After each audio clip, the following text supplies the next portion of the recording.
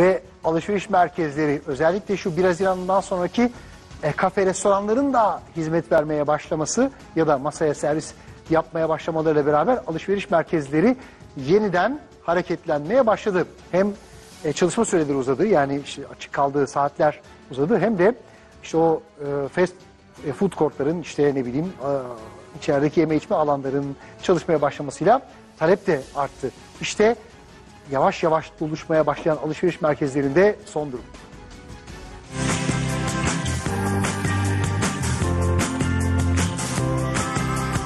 Nişanımız var hafta sonuna. Ona alışveriş yaptık. Şimdi çay içeceğim. Oğlum adına sevindim. En azından onunla bir şey paylaşabileceğim, bir yerlere gidebileceğim. Hepimiz çok özlemiştik rahat rahat doya doya alışveriş yapabilmeyi. Bir kafede oturup kahvemizi yudumlamayı.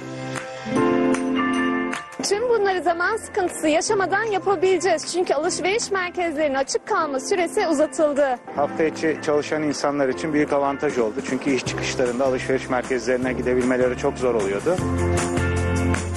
Hemen sabah erkenden geldik. Ne olacak? Bakıyoruz işte ne bulursak. İndirimler de çok fazla. Bakalım. İhtiyacımız olduğunda geliyoruz. Yaz ayakkabı aldık. Sokağa çıkma kısıtlamasının 22'ye çekilmesiyle birlikte alışveriş merkezlerinin kapanış saati de 10-21 oldu. Cumartesi günleri açıldı. Kısıtlı olan sadece pazar günleri kaldı. Cumartesi günleri de açıldı artık sevindiniz. mi? Tabii ki.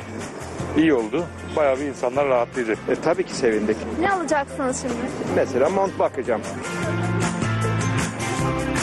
Yeni saat düzenlemesi ve cumartesi günlerinin de açılmasıyla birlikte alışveriş merkezlerindeki yoğunluğun artması bekleniyor. Akın akın geliyorlar hatta çok cıvıl cıvıl görüntüler oluşturuyorlar burada. %20 seviyesinde bir e, bir önceki haftaya göre artış gözlemlendi. Gezmek için e, bir de birkaç bir şey almak için geldim. Biraz alışverişe çıktık azıcık hava alalım dedik.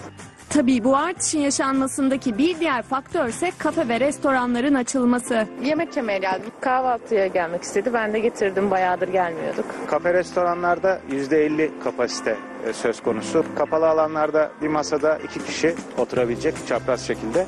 Açık alanlarda üç kişi oturabilecek. Kademeli normalleşme döneminde de kurallar değişmedi. Tedbirlere uyuluyor. 10 metrekareye bir kişi düşecek şekilde kapasiteleri belirlenmiş durumda. O kapasiteyi geçemiyorsunuz. Dolduğu anda içeriden birisi çıkmadan başka birisi girilemiyor. Tedbirli olduktan sonra sıkıntı olacağını zannetmiyorum. Sinema